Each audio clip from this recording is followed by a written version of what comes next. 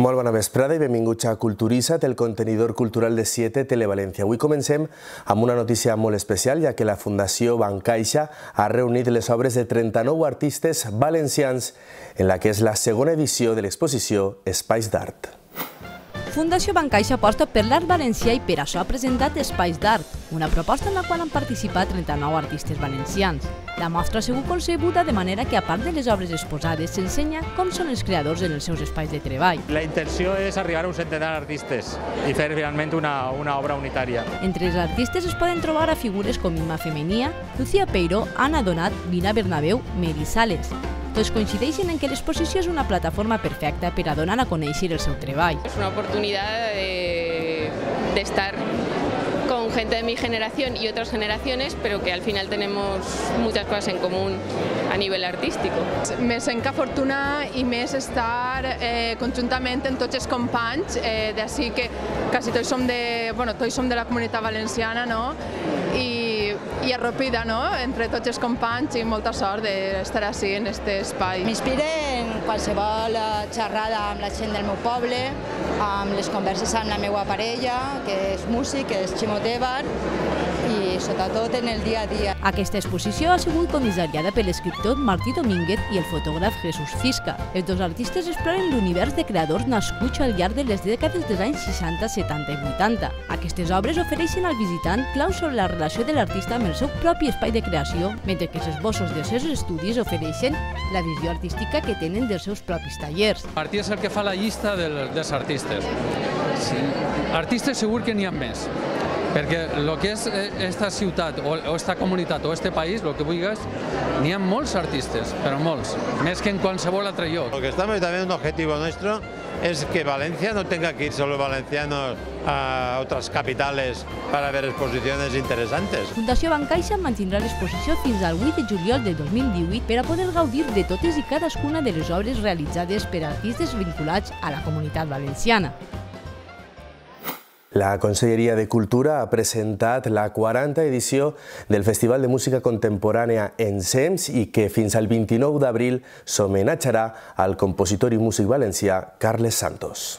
El Festival de Música Contemporània Ensems homenatjarà al músic de Vinaròs Carles Santos en la seva edició número 40 i que se celebrarà en diferents escenaris valencians fins al 29 d'abril.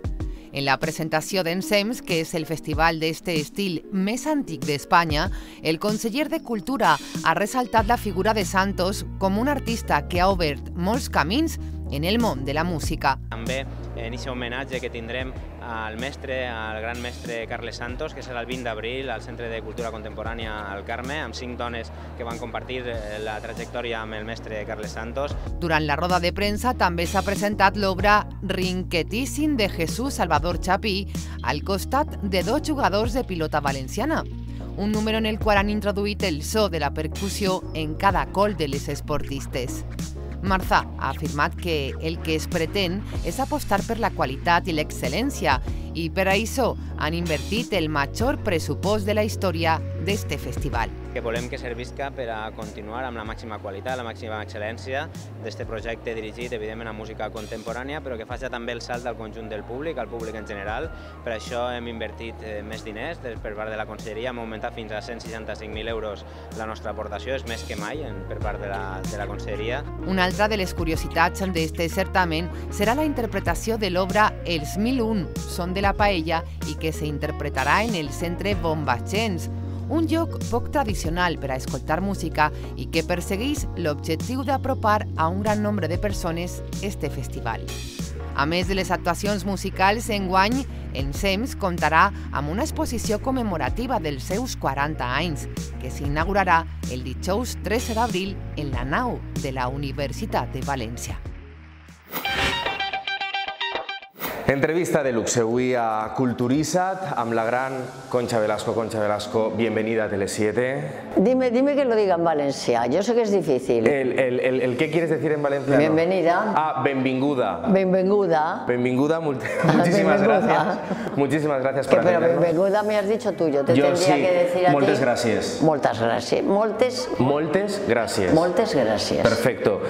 Bienvenida a Valencia de nuevo, como decía. Eh, menudo susto nos diste cuando disteis a conocer que, os poníais a girar con esta obra de teatro, cuando se dijo que te retirabas después del funeral. Concha. Es que tal y como está prevista la gira, que es que me da vergüenza enseñarla, pero es que tenemos una gira de dos años, yo pienso que a los 80 años, que será cuando termine la gira del funeral, eh, después de Valencia, que Valencia es importante, ¿eh? la crítica y la respuesta del público de Valencia es muy importante para nosotros, pero vamos, la gira que tenemos programada terminará en Madrid el día que yo cumpla 80 años. Yo creo que con 80 años ya me lo puedo plantear, ¿no? Bueno, por lo menos plantear, por lo menos plantear. Eso es lo que dije, además me pilló en un momento tonto porque estrenaba en Valladolid, en el Teatro Calderón, me daban la medalla de oro de, de la ciudad que eso, fíjate, mira que me han dado premios importantes, la Gran Cruz de Alfonso X el Sabio, el Premio Nacional de Teatro por segunda vez, el Corral de Comedias, Goya de Honor, eh, el, el, mérito del trabajo, la, la de oro. Pero, pero, la de Valladolid, pero la de casa. La medalla de oro de Valladolid, pues eso que me han convertido en, en algo tan serio que, que, yo en ese momento pues estaba un poquito tonta y subida, que decía Santa Teresa de los Ángeles, muy subida.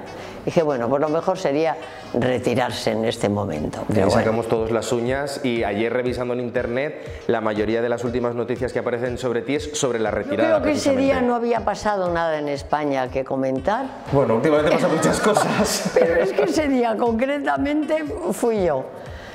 Porque si no, no me lo explico. Mira que, que, pasan cosas, ¿no? Y las redes sociales están todos los días que arden. Bueno, pues bueno, mira. Lo último que tenemos es que te lo plantearás dentro de dos años. Eso sí, pero no creo yo. Hombre, eh, a mí me gustaría viajar menos, estar más en casa. Tengo un nieto y si te cuento alguna pena, pues mi nieto, eh, que ha sido una alegría enorme que me dieron sus padres porque siempre quise ser abuela, pero tiene nueve años y ya no quiere, porque ahora quiere estar con los amigos. Él y cada ahora, vez más, ¿eh? Él, eh, incluso le, le, le, he pedido a mi hijo que lo trajera a Valencia y, y, mira que ha estado veces en Valencia corriendo por los camerinos. Pero me dice, es que tiene un cumpleaños, es que tiene el cumpleaños de Juanito. Juanito es su mejor amigo y bueno, pues eso es lo que he hecho yo de menos, que viajando pues ya no me lo puedo traer. Bueno, cuando recales en Madrid para descansar. ¿Sabes lo que pasa? Es que yo con mis hijos hacía lo que me daba la gana, pero con el nieto. No, no, eso no puedes. Y como se ha puesto la gente tan pesada, les retratan y están ocurriendo las cosas que están ocurriendo, sí. porque se ponen de moda cosas tremendas, ahora les ha dado por los niños, maldita sea, sí. y que Dios les maldiga a todos los que hacen cosas a los niños, a todos, pero a los niños especialmente. Estás aquí en Valencia con la obra El funeral, donde interpretas a una actriz, a, a Lucrecia, que regresa... Fíjate, Lucrecia Conti Belvar. Lucrecia Belvar me llamaba yo cuando era bailarina. Belvar, yo me llamo Velasco Barona. Sí. Y Bel de Velasco y Bar de Barona. Cuando yo era bailarina me llamaba Lucrecia. Lucrecia. Pues una, una artista que hubo en mi familia de Valladolid, que eran todos maestros, eh, matemáticos, constructores, era gente así muy pija, muy guay. Mi madre era maestra republicana, era una señora, una intelectual, pero la única artista que hubo en la familia se llamaba Lucrecia, esa Lucrecia. ¿Y es un homenaje a ella, imagino? Eh, no es un homenaje a nadie, es, un, es una comedia sobrenatural de una actriz olvidada que se muere, que están velando su cadáver en un teatro porque ha sido muy famosa. Uh -huh. O sea, el cadáver está ahí todo el tiempo. Sí. Por cierto, que me impresionó muchísimo. A ti misma. Claro, porque me lo ha hecho el mejor. Después de Reyes Abades, el alumno de Reyes Abades me ha hecho a mí muerta y la verdad es que impresiono. Bueno. ¿Hemos hecho spoiler con esto? Pues es que no, no, no, creo que dejen. Yo creo que no dejan sacar a la muerta. Ah, vale, vale, vale. No, el público que sube al escenario, porque el público participa y tiene que subir, porque es un velatorio, es un velatorio sí. en un teatro, pues, pues eso, están velando a un cadáver. Eh... Y, y me aparezco yo como fantasma. Tú, te apareces tú como, el personaje se aparece como fantasma para resolver ciertos eh, asuntos. ¿Eso quiere decir que el show debe continuar a Exacto. pesar de todo? Ay, Dios mío, que has visto el final. No, no, no, que va, que va, que va, que va, no, no, no, para nada. Es para que nada. es lo último que dice el fantasma, que dice, el espectáculo siempre, siempre, siempre tiene que continuar. Es lo último que dice el fantasma. ¿Y en la vida debería ser así también? Pues la vida es otra cosa. Eh, fíjate, el otro día me hicieron una entrevista y dije una cosa muy profunda. Dije, la felicidad, yo siempre he dicho que lo más importante era buscar la felicidad y yo creo que la he tenido y no, y no la he sabido aprovechar. Si yo tuviera que escribir unas memorias, diría, ¿os acordáis? ¿Quién escribió? Que, que decía la nostalgia es un error, me parece que fue Simón de Beauvoir. Pues yo diría que la felicidad fue aquello. Que no, me que di no cuenta. pudiste disfrutar. No me di cuenta. ¿Y es demasiado tarde para intentar recuperar la Pues felicidad? mira, yo, yo, yo, soy una, yo soy puro presente, yo no tengo ni pasado porque no soy nostálgica y quiero quitarme el rencor, yo quiero morirme sin rencor. Además yo en Semana Santa todo lo mío de Ramos, voy a misa y comulgo y el sacerdote que es muy viejecito, cada vez va menos gente a misa, como sabéis, Sí. lo siento por ellos, ellos se lo pierden. Y cuando voy, me dice, ¡ay, Conchita! Conchita y le tiembla la mano. Conchita otra vez aquí. Digo, mire, padre, yo todos los años mientras pueda. Pero yo soy presente, yo no sé lo que me va a pasar, ni, ni siquiera dentro de media hora. O sea, que tú planes no haces. No, yo ninguno. Yo lo que quiero es estrenar hoy, tener un éxito muy grande, que viniese mañana mi hijo Paco, que cumple 39 años, pero ya me ha advertido que no va a venir porque estás muy pesada con la prensa. Y nada más. Yo no aspiro a nada más ya. A ser buena. Yo quiero ser buena. Eso es un plan, al fin y al cabo, ¿eh? Como acabo de, de prometerle a nuestro Señor que lo voy a ser, pues hoy me toca decirte que yo lo que quiero es ser buena. Pues bueno, eso es un buen titular, Concha. Eh, interpretas a, a Lucrecia que está muerta. Inter- interpretaste a la Que reina. no es tan buena como yo, ni quieres ser tan Bueno, es buena un personaje, como... al fin y al cabo. Es un personaje, ¿eh? Interpretaste a la reina Juana que también tenía unas circunstancias así un poco tétricas. Ah, No, no, pobrecita, esa era la gran maltratada de la vida, de la historia. sí, eh. Yo, bueno, ahí me reivindicaba a todas las mujeres maltratadas que conocemos. Esta la, la encerraron, le quitaron la corona, la llamaron loca, la De todo. pegaban palizas, De la todo. envenenaban. Pero por favor, la gran. Y ella fue siempre la reina primera de Castilla, no y es de los otra. personajes que más éxitos te ha dado. Sí, todos. Por eso había que acabar. Yo Eso te quería preguntar, que si terminaste harta. Cla- no, no, harta no, no, no, feliz, pero morirme todos los días diciendo que hermoso príncipe y resucitar eh, cuesta, ¿eh? Cuesta. Por eso te, te quería preguntar eso, que Lucrecia está muerta, la reina Juana se, se moría, eh, Olivia tenía una enfermedad Pero también. ¿cómo? Y además se quería suicidar y matar a Entonces te has especializado un poco en personajes Eh, en situaciones Por dramáticas. eso me- yo creo que me han dado el Premio Nacional de Teatro, no creo, el enunciado era por Écuba, La vida por delante, Olivia y Eugenio y por Reina Juana, o sea que me lo dieron por cuatro títulos, no solo por uno, porque decían, ¿cómo le damos a esta el Premio Nacional de Teatro por segunda vez, que es el único caso en la historia? Se lo vamos a dar por cuatro títulos. Pero yo quería hacer comedia, porque yo quería haber hecho una obra para niños. La ilusión de No mi digas. vida era haber hecho La Bruja Novata. No me digas. Sí, La Bruja Novata, que la hizo Ángela Lansbury. Por Dios, pero como mm, cuando murió Paco Marsó, y ya sabes que hemos estado pagando Hello Focos de Hello Dolly, Dios mío de mi vida, los he terminado de pagar yo hace un mes. 500 euros al mes. Estaba yo pagando todavía los focos de Hello Dolly. Pues Paco, eh, hubiéramos puesto en marcha la bruja novata, pero como ya no está, los demás productores no se atreven. Y mira que Billy Elliot Está triunfando en Está Madrid. triunfando, bueno, pero, pero yo no lo he conseguido. Y ya volverme a jugar lo que no tengo, Ya, todo es un poco complicado. Lo he perdido todo, era complicado. Entonces aquí, en, en el funeral, es un poco todo eso que yo no he podido hacer en manos de mi hijo Manuel. ¿Y cómo es trabajar con un hijo? Pues mal, porque es muy exigente. Pero se está vengando de las regañinas de... de No, no, te voy a decir una cosa. Yo siempre he defendido al autor y a los guionistas. Yo soy en defensa. A mí cada vez que llegamos a pasar texto, y ahora estoy con las chicas del cable, siempre hay un actor que porque no se lo sabe, dice, a mí esta frase no me va bien, pues apréndetela y dila.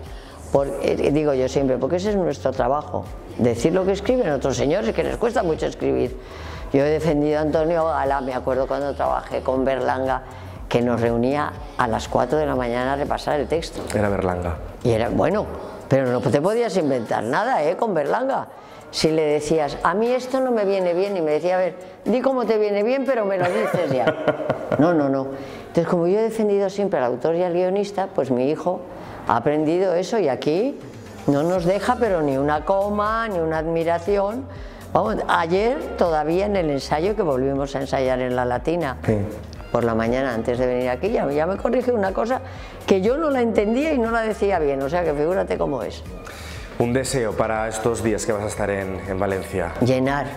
Yo eché a un director de una obra de Antonio Gala que se llamaba Las manzanas del viernes, que la estrené aquí en este teatro con un éxito enorme. ¿Y sabes por qué le eché? Porque me dijo, ¿qué esperas de esta obra? Y yo le dije, llenar. Se enfadó y dijo, ah, pues me voy. Digo, te Pues vas, adiós. pero no vuelvas. Pues adiós. Pues adiós. Yo lo que quiero es llenar siempre, pero no por vanidad. Es porque yo trabajo para el espectador. Entonces la respuesta más gratificante es llenar el teatro. Que el empresario que me ha contratado llene. Esté contento. Que la empresa eh, Fallos llene y que me vuelvan a traer.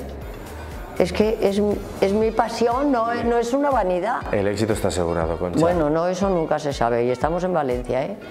que es la tercera ciudad de España, Madrid, Barcelona, Valencia, o Madrid, Valencia, Barcelona, que, lo- que sois muy vuestros, pero aquí hay una crítica severa, entendida, que se hace muy buen teatro. Oye, estamos en Valencia, ¿eh?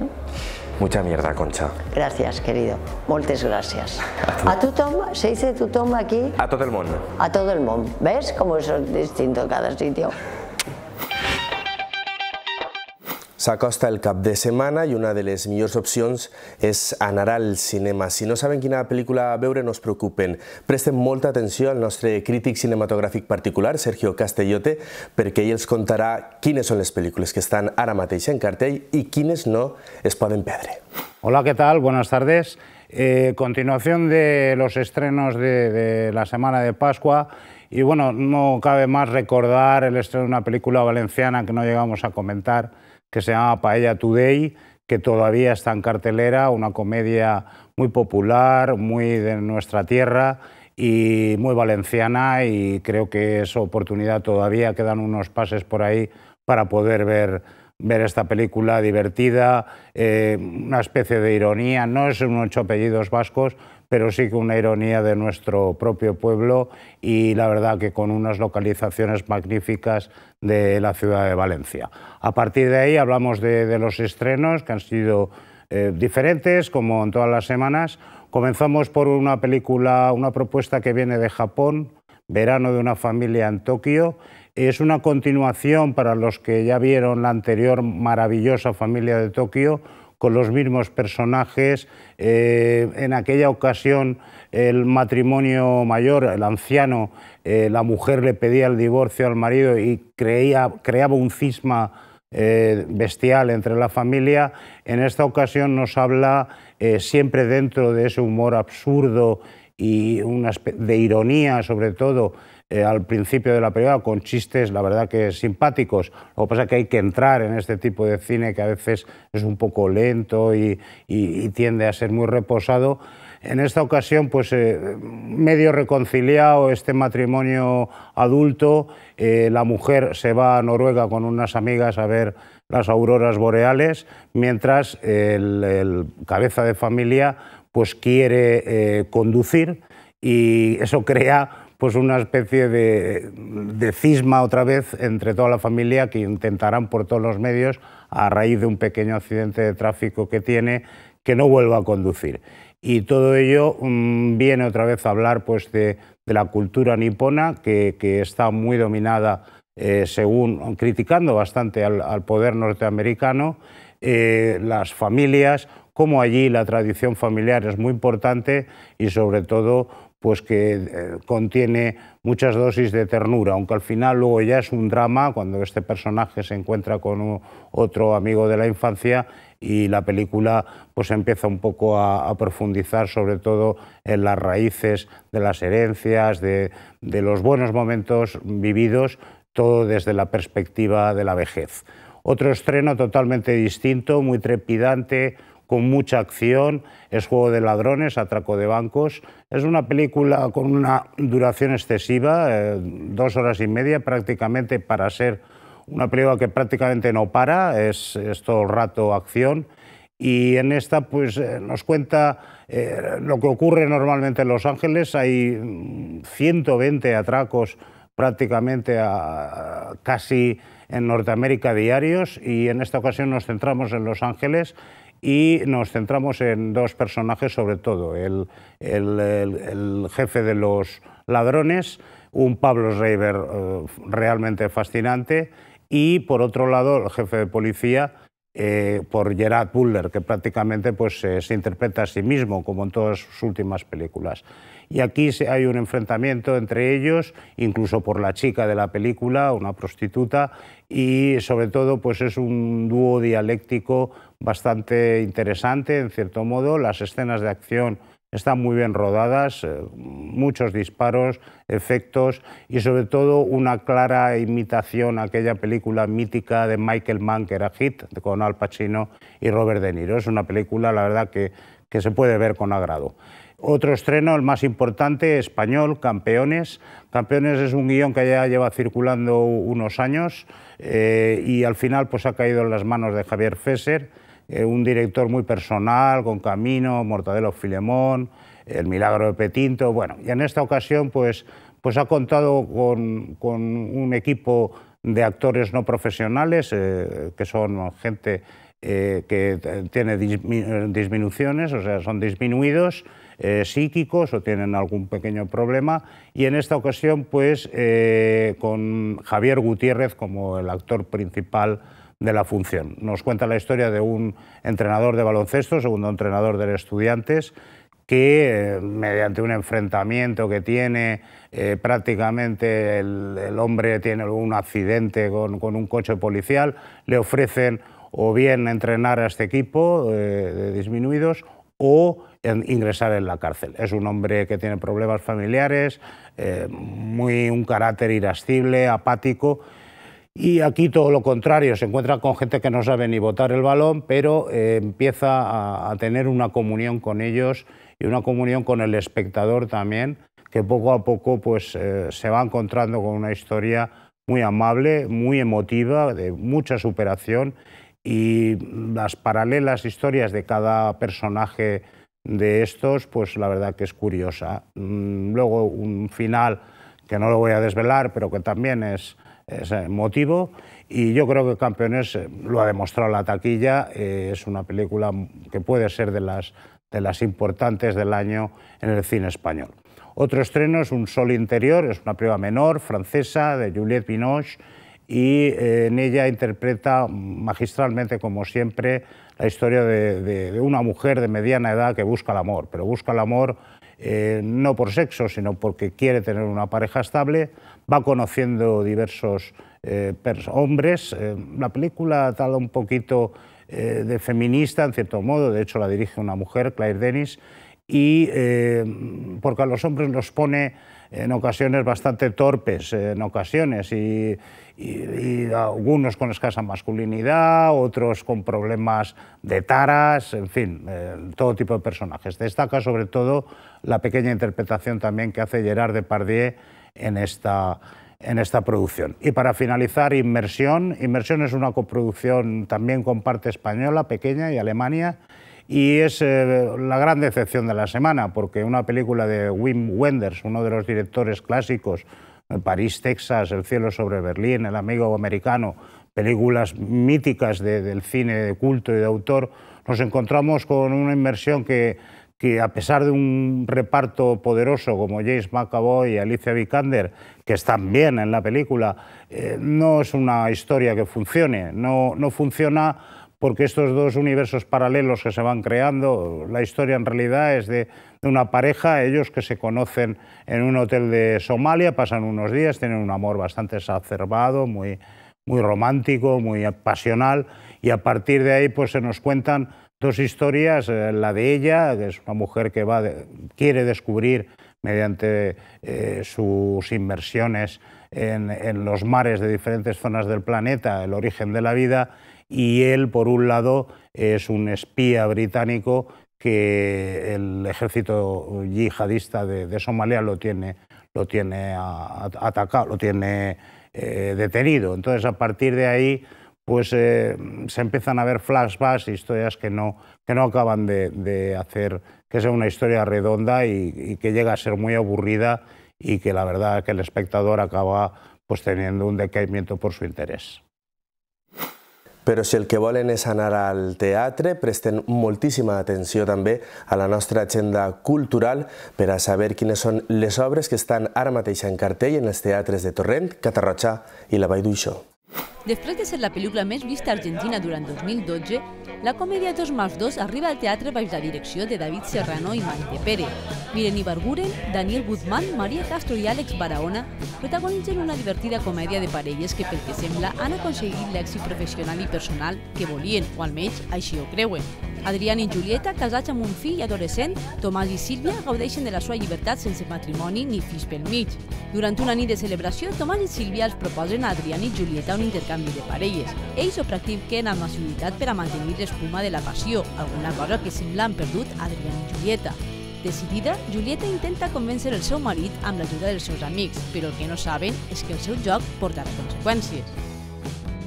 Jesús Manzano és còmic i actor pertanent a la companyia Teatro Instantáneo i ha actuat en molts dels grans teatres del país. A banda, també és col·laborador en diversos programes de televisió i ràdio. Actualment treballa com a guionista de l'Hormiguero d'Antena 3. No dubtes en anar a veure este geni de l'humor i dels monòlegs. L'Auditori de la Vall d'Uixó estrena el diumenge que ve 15 d'abril Els viatgers del temps, una producció creada per la companyia valenciana Pot de Plom i dirigida per Xavi Castillo. Un espectacle familiar carrega d'humor, un carro misteriós, uns còmics ambulants, una màquina del temps i un científic boig. El Viatgers del Temps és una fantàstica aventura per a gaudir en família i que porta a realitzar un al·lucinant recorregut per la història del País Valencià, amb aparicions estel·lars com la de Jaume I el Conqueridor, el Guerrer de Moixent o Felip V.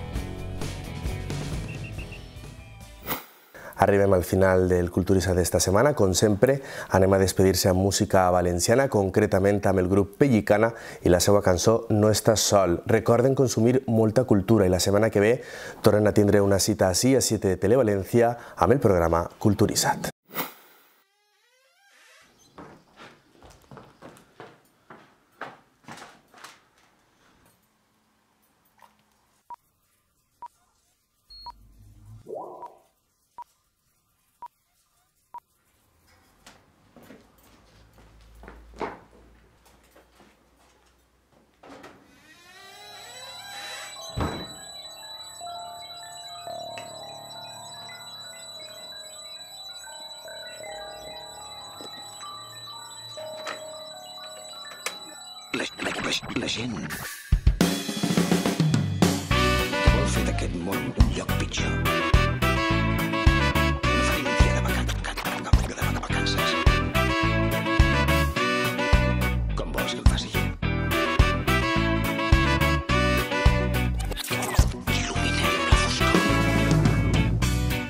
Et fallen les forces i creus que estàs sol, pensa que ets i que vols. Potser ja no tens ganes. Després de tant dolor necessites sentir que no estàs sol. No viuràs sota les ombres. No estàs sol. Llançaràs